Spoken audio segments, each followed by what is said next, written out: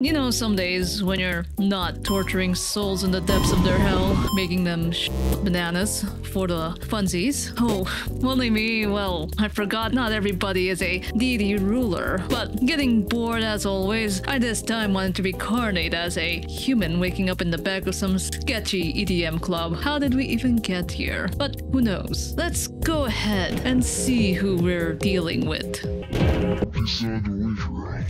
Let's enter the name. Name.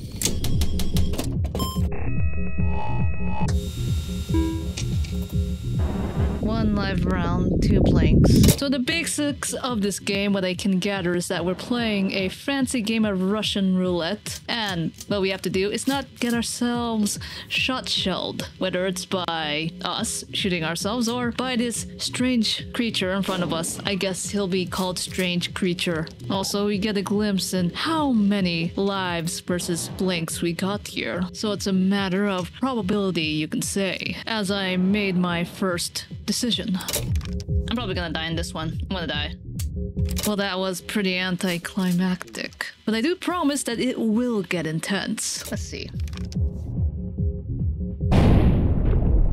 Oh my gosh. Again, with my empty promises of impending death via chance, still not really sure why exactly I'm here. After the first round was done, only for some added add-ons to step up our game. At least we didn't have to pay for DLC. But to put it short, we get these random items, like I said, which can help us or hurt us in this oh so family friendly game that doesn't involve death and despair.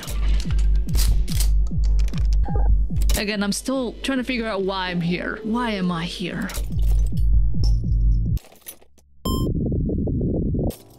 Oh, what the fuck was that? Suspicious as if we're not supposed to see this waiver at all. We pretend to ignore it for the moment and continue to play with our dance with death.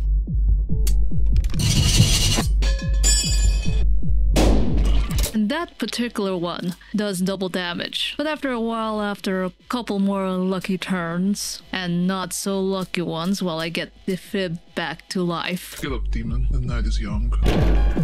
I'm back. Back. For every god, there's always a demon, at least.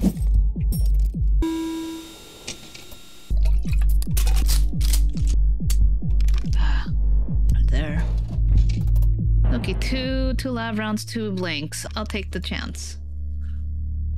Ah. oh, I love it.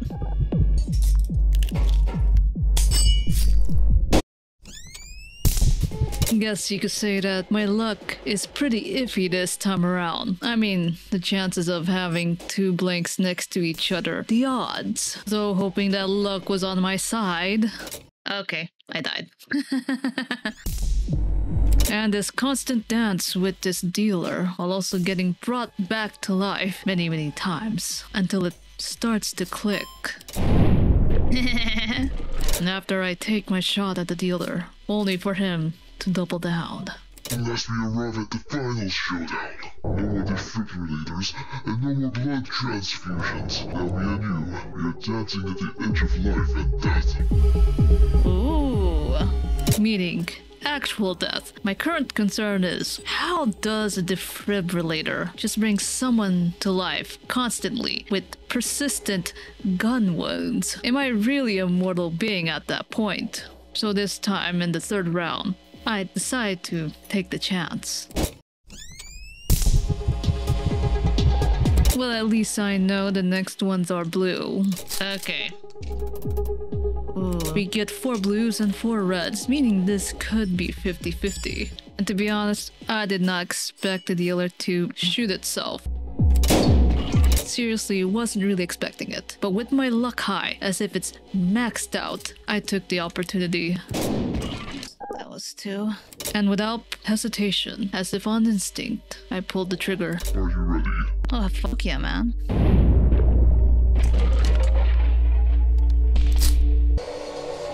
What do I get? A lot of money.